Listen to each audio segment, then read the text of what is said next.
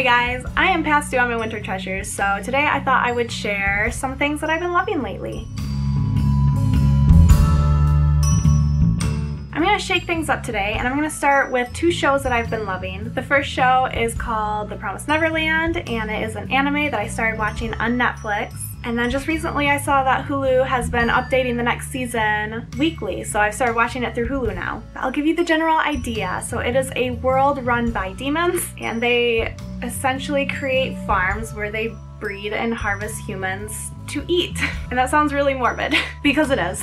but it is a surprisingly intriguing show. So it centers around these group of kids who are incredibly intelligent, and of course apparently that's super desirable and super edible to the demons. And so their mental abilities are nurtured and grown, and because they're so intelligent, they end up figuring out what's going on and figuring out a way to escape. It is a very dark anime, but I love it. I love stuff like that. It's so interesting. And guess what? It doesn't get much better with the second show. So the second show is another K-drama because I've become obsessed with them. They're so good. So this particular one is called Sweet Home. I think it might be a Netflix original, but all of the humans in the world start suddenly turning into monsters, hungry monsters that want to eat other humans. And so the residents of this apartment complex end up getting locked inside and are trying to ward off the monsters and deal with each other and it's so weird.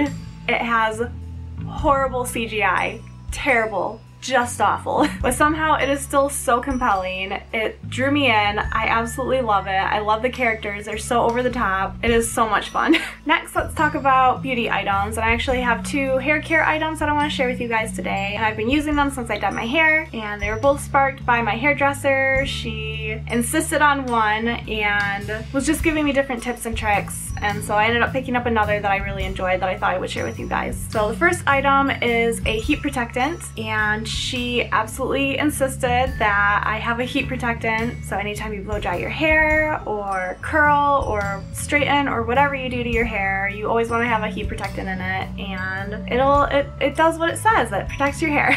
So I ended up picking up one from a brand that she recommended. It is Biolage.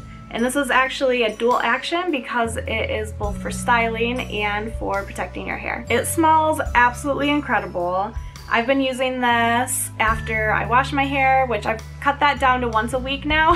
so once I wash it, my hair's still wet, I'll spray this through it and blow dry my hair. It gives just a touch of hold, which gives you lots of volume. And overall, I've really been enjoying the brand. She recommended this particular brand because it gives salon quality results, but it doesn't cost even half as much as salon products. So I've really been enjoying this. The second item that she recommended to me was to find a good texturizing spray. And the way she put it to me was for women with thinner hair like I have, a texturizing spray acts as sort of like a lightweight hairspray. So you get the hold without the crunch. So I ended up finding this one and it is from Sebastian Professional it is Shaper Zero Gravity, and this is technically a hairspray, that's what it says on here, but it's a dry, brushable, lightweight hairspray, and I'm gonna tell you guys right now, it does smell kind of bad, but it works so well. So basically what I do after I curl my hair, I will spray this through it, and I'll brush my hair through with a wide tooth comb, and it's wonderful. Like it says, it's lightweight, so it doesn't weigh your hair down, it doesn't feel crunchy, you can still run your fingers through it, but that it still holds too, so you get your curls for longer. And I guess as example to that, I have done literally nothing with my hair in four days. Not a thing. Haven't washed it. Most I've done is dry shampoo. So, as you can see, I still have some curls in it. So it works, guys, trust me. The next thing that I have been loving that I want to share with you guys is actually a musical artist. And I am obsessed with her. She is so good. She's so cute. I'm not even really sure what she would consider herself, so I don't know what to consider her either. If she's a singer or a DJ or I don't even know. But her name is Netta. She is an Israeli artist and I'm gonna link a couple videos down in my description where she did these looping songs through iHeartRadio and it's the coolest thing I've ever seen. Low, low, low, low, low, low, low, dollar. Baggy sweatpants and the Reebok with the stripes. She turned around and gave that big booty a sway, yeah.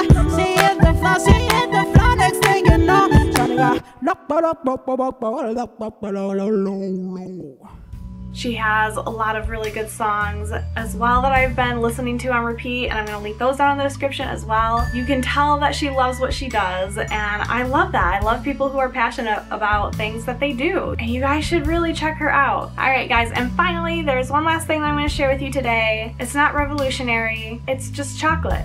I have been a lot better lately about watching what I eat and eating less and being more mindful of what I'm putting in my body, and so lately I have been obsessed with dark chocolate, particularly 78% Lindt chocolate. And I have tried quite a few, and for whatever reason, 78% seems to be that magic number. Because anything below almost tastes watered down, and anything above just tastes chalky. So 78% is the magic number. It is so good. It's naturally low carb, so you're not spiking your insulin. It's so good. It is so good. Alright guys, but those are all the things that I've been loving lately. Let me know down in the comments, what have you been enjoying lately? Is there anything that you think I should try? Let me know. Of course, if you enjoyed this video, please leave me a thumbs up. I love seeing those. They make me feel so good. Subscribe to my channel if you've not already, because honestly, that would make me feel even better. And that being said, guys, I will see you the next time around.